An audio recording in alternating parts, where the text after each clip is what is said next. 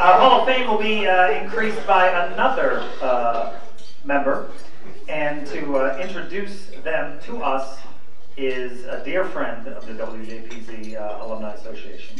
She is the head, let me make sure I get this right, Mary. You're the head of the Tennessee Democratic Party. You're a super delegate. Super delegate. You control democracy south of Oneonta. You just run the. So make sure you get on her good side because she will be running the country uh, come November. Once again, ladies and gentlemen, how about a round of applause for Mary Mancini?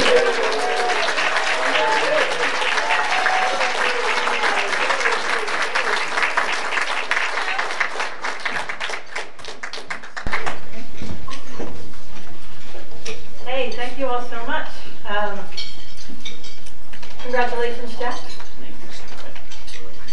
So,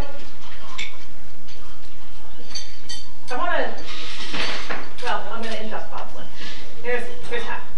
So I met Bob Flint my freshman year, which, by the way, when you could legally drink at Faegan's at 18. Just saying. It was a beautiful time. So I first met, met Bob uh, Flint my freshman year at the original location of WJPZ, which was a rickety fire trap of an old house located about a block away from M Street at 821 University Avenue, and it was called simply the Spectrum Building. It was a little intimidating for someone like me who just wanted to be on the radio to play cool records and learn how to DJ, to meet someone like Bob who knew how, you know, radio actually worked. So he knew things like the difference between an AM and FM signal. Uh, he knew how licenses were awarded. He knew why antennas were important in order to be heard little bits of knowledge that you learned if you were paying attention in Radio and Television 101. And never was that knowledge more useful than in the fall of 1982, when Bob, who was station manager at the time, returned to campus to find three very unnerving things. Number one, the university had unceremoniously ripped out the station's antennas from atop of both day and booth halls. Number two, the university was demanding $5,000 to pay to fix the damages allegedly caused by them having to rip out the antennas. And number three, the original home of WJPZ, that rickety fire trap of an old house located at 821 University Avenue, was about to be demolished to make way for a Sheraton hotel.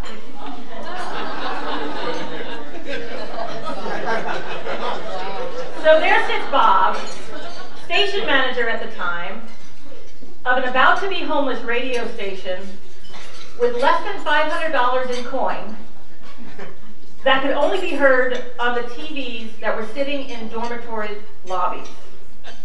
And then the general manager resigned. Needless to say, in the fall of 1982, the state of the station was the polar opposite of strong. Now, a lesser man would have done the math. A lesser man would have said, this is impossible. A lesser man would have let WJPZ pass into the annals of history. But Bob is not lesser. Bob is extraordinary. He had vision. In the fall of 1982, Bob was already passionate about WJPZ. He already knew who and what came before him. He already knew the value of WJPZ's legacy.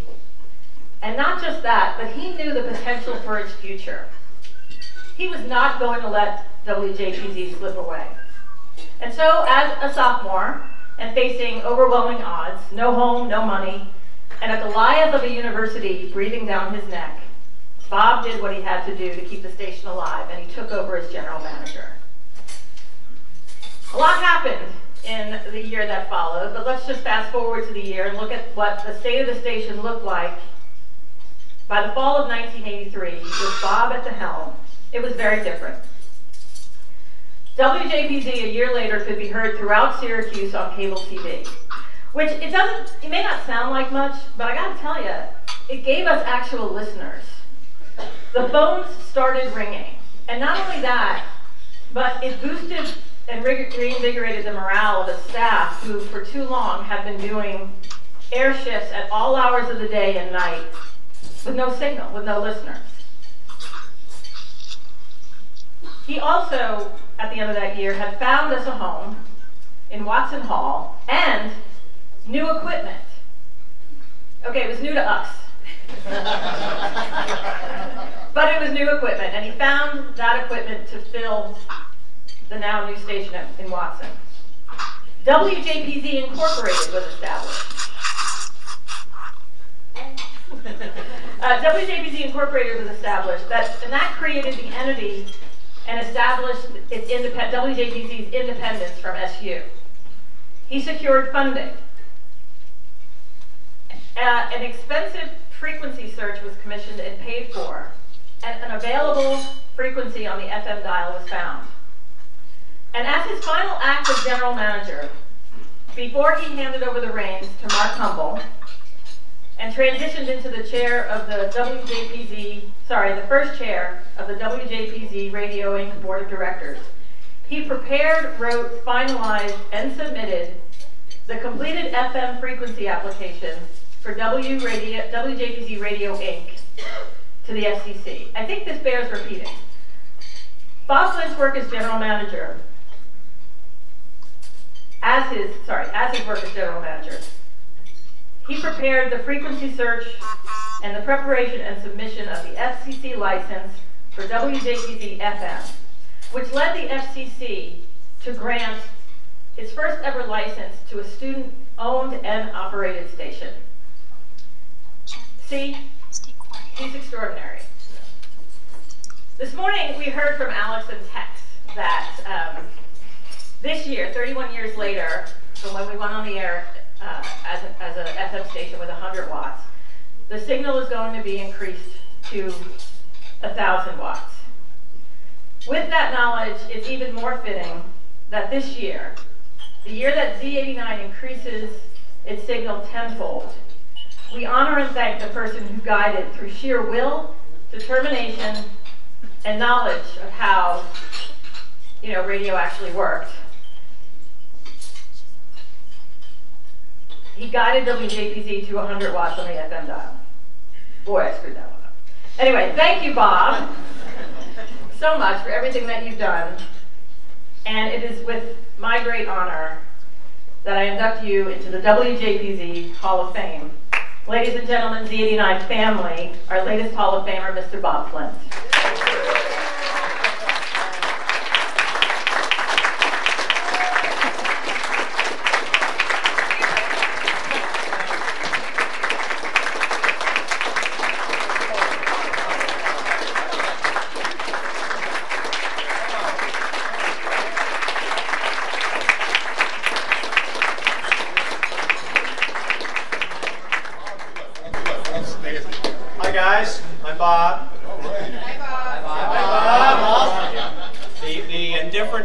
Watching on the screen is my youngest daughter, Susan.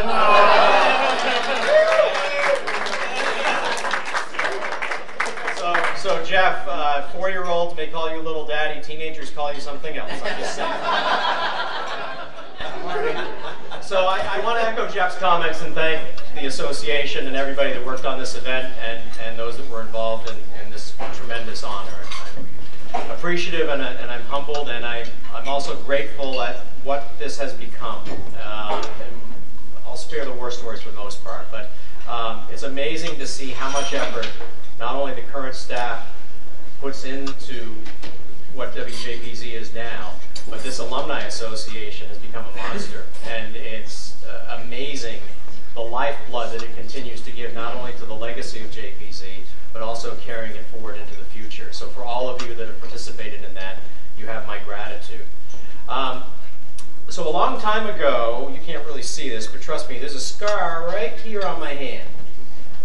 I got that scar when I was up on the roof of Booth Hall with Eric Fitch and Philly Cassio and some other people It's been 30 whatever years. Can I still, I still have to say allegedly? Uh, putting up antennas that perhaps may have resulted inadvertently and unintentionally in some roof damage that you've heard about already. Maybe, perhaps. so Mary, you know, told the story, so I won't do that again. But in, in the fall of 83, she referenced the license application. This is a copy of the actual construction permit application from October of 1983 that we submitted. That became WJPZ FM. So it was a, it was a lot of folks besides me. I, I, when Mary said Bob, she should have said we, because it was people like Mark Humble, who's over there, Eric Fitch, who I don't know if he's here yet, but he's coming. Hey, um, you know, without Mark and Eric and Mark Ellenbogen and Chris Mossman and other people uh, who I'm not, you know, naming at the moment, this never would have happened. So uh, I know that, and you all are hopefully grateful to them as well as for me. Eric's already in the Hall of Fame. I hope Mark and Mark Ellenbogen both can get in. People like Joe Pasternak that came before me. Uh, it, it is a continuum. And I guess that's maybe what I want to talk about, not so much of, of what happened back in the day. So, but I will start with a back in the day moment. Um, I had the opportunity to come to campus this past fall, and Rachel, my friend Rachel, showed me the station. Rachel, what was the first thing I looked for? A plaque. Okay, so I looked for a plaque that it was in the memory of a guy named Matt Wasser. Matt was somebody we went to school with, and, and um, so we hear a lot about, and, and, even tonight, there's a lot of people in this room who have done amazing things in communications and started at JPZ. And that's one of the coolest things about JPZ. But what's also cool is that in some ways we're a misfit of island, or island of misfit toys. That you can be the rock star and be here, but you can be someone that may never ever do anything in radio, and it's cool. You can be here. I was talking with Greg this morning, and um, you know, it's kind of it was a sentiment they shared back then, and I know that's the sentiment that continues now. So Matt gave his heart and soul to JPZ and cared about the station, and he died in a horrible accident up in Day Hall. It was the first year we were in Watson, and he really, to us, represented the epitome of that kind of kid who really just cared about JPZ, whether or not they were a great broadcaster. So we dedicated the new studio at that time to him, and I'm very pleased to say that plaque is still there. So the next time you go there and you see the plaques on the wall on the left, take a look at that and just think about that for a moment. Um, you know, Jeff made the comment about the friends you, you make here, and uh, I'll echo that as well. For the people that are sitting at that table and, and people that are not here, that have been a part of my life for over 30, 35 years, uh, I'm blessed for that. I'm grateful for that. And it's that humanity that's a really a, a, part of what makes this a continuum. I think Steve used the word love earlier, I'll use the word humanity. There's obviously a lot of talent, as I just alluded to, but there's a lot of passion too. People in this room obviously care about this radio station and cared about it back in Greg's day. They cared about it in our day. They cared about it in Jeff's day. They care about it now. And you should have seen the room light up this morning at the alumni meeting when uh, the boys were talking about boosting the power boosting it to a 1,000 watts. You could see the wheels turning. And it was really interesting to see, all right, how can we promote this? What does this mean? How can we increase the ratings? Is this something the students really want or are the alumni driving it? We all said those things because we care, and that's unique. It's, a, it's part of this, this wonderful alchemy that makes this journey possible for So a long time ago, my shout out to Professor Rick Wright was that you made a comment in class once, and I'll paraphrase. And by the way, an aside, back in our day, the padlock was this big. I hear it's gotten bigger since. so, uh, but you said something about a lot of people can be on the radio, but not everyone can be a broadcaster. So I would contend, because of our humanity, because of our passion, and yeah, because of our talent, the folks that came before us, I know us, and the people that came after us and the current students are all broadcasters. And whether it's carrier current or amplitude modulation or frequency modulation or cable audio or streaming or goodness knows what comes next, WJPZ will always train broadcasters in the greatest, greatest media classroom in the world. So I'm grateful for this honor, and I think I'm even more grateful that I had the opportunity to play a part in a small chapter in a journey that is still continuing. Thank you.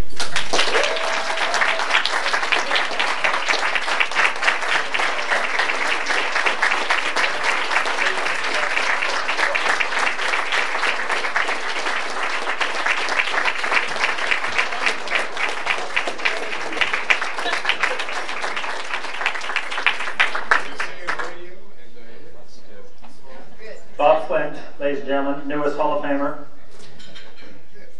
The child Flint smiles a solid 12 seconds. A solid 12 seconds of love and support for her father. What is her name? Susan. Susan, please, for the love of the Lord and all that's holy, be kind to this man. We love him.